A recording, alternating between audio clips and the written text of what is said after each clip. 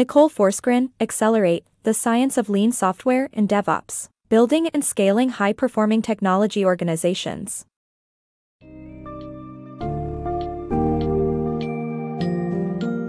Welcome to the summary of Accelerate, the science of lean software and DevOps, building and scaling high-performing technology organizations, where author Nicole Forsgren explores the importance of change management in an ever-evolving business landscape. Learn about the dual operating system that merges traditional hierarchical structures with an agile network, allowing companies to become more adaptive and efficient. Discover five core principles that help establish and maintain this system, along with eight accelerators designed to help your organization navigate change successfully. This captivating summary encourages leaders to break free from stagnant hierarchies and embrace a new approach to successfully manage change.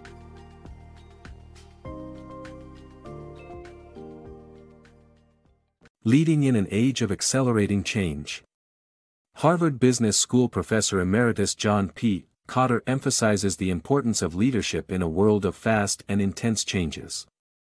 In his book, he explains how a stable hierarchy may not be able to handle change effectively, as it lacks the ability to recognize emerging opportunities and threats. He highlights that successful businesses often start with a fluid network structure, where the founder is at the core and everyone revolves around them, taking risks and seeking opportunities. As businesses grow, they shift to a more structured hierarchy. Kotter's work emphasizes that leadership is essential in navigating these changes. Dual Operating System Kotter suggests a new approach to change management by establishing a dual operating system, combining the benefits of both hierarchical structures and organic networks. The two systems should be separated but work as partners with the help of five core principles. Different people drive change, people get to do jobs they relish, both your heart and your head must be at work, you need solid managers to execute change, and the network and hierarchy must function as partners. The network should not be just another department, but must work closely with the hierarchy for mutual benefit. Kotter provides examples of firms that have successfully implemented this dual system, encouraging readers to think outside the box when it comes to driving change and improving organizational structures. Accelerators for Network Plus Hierarchy Structure John Kotter provides eight accelerators to help create a functional Network Plus hierarchy structure.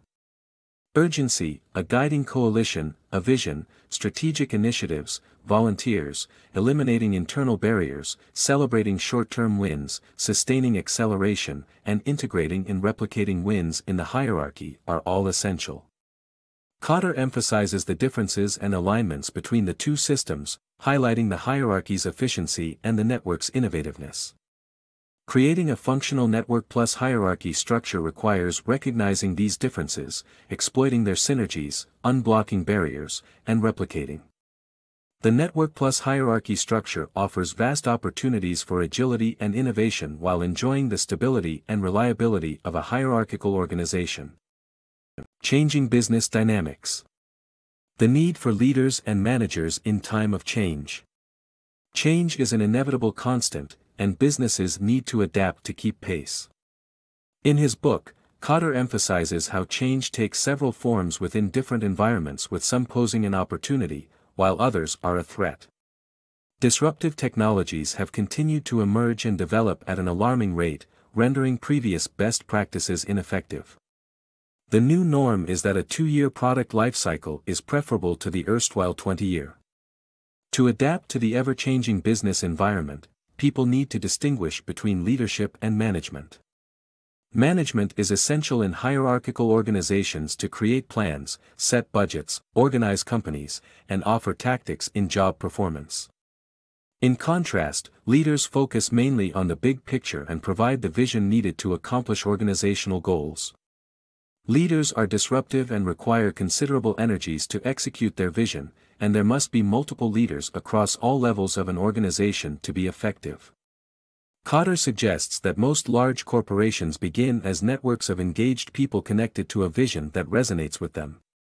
Still, over time, hierarchies emerge, and leaders are phased out of the organizational structures in favor of managers. Kotter, therefore, calls on businesses to unleash their creative energies and let it flow freely across the network to leverage multiple leaders' strengths. Embracing change. Kotter emphasizes that the greatest challenge to change is not organizational structures or policies, but people's resistance to it. Moving an organization forward requires a sense of urgency and relentless advocacy for change. Instead of fearing change, we should embrace it, see the opportunities it brings, and share our enthusiasm for it. Leadership for Change Kotter emphasizes the importance of change leaders facing tough questions and provides insights on managing complex networks. According to him, networks require qualitative appraisals as they can't be measured like companies. He suggests designating someone to facilitate smooth operations and maintain working relationships.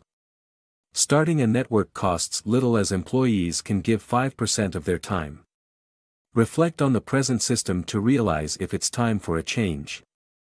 Accelerating Change Management John Kotter's book Accelerate presents an innovative strategy for companies to adapt and thrive in the face of accelerating change. He proposes a dual operating system that maintains a hierarchical structure while growing a second, organic network in symbiotic partnership with it.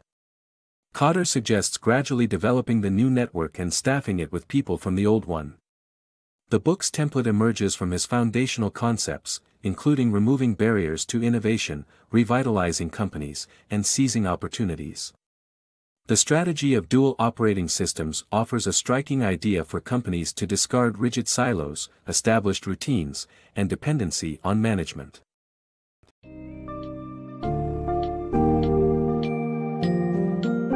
At the end of our journey through Accelerate, we see that the key to thriving in a rapidly changing business environment is adopting an innovative dual operating system. This system combines the strengths of traditional hierarchies and agile networks, leveraging both to navigate change and capitalize on new opportunities. Implementing the five core principles and utilizing the eight accelerators, leaders can successfully manage and adapt to change in their organizations. Furthermore, businesses should foster a sense of urgency to drive change and promote a culture of constant innovation. In a world where technology and change are constantly accelerating, embracing Kotter's strategies will equip your organization to overcome challenges and seize opportunities in the evolving marketplace.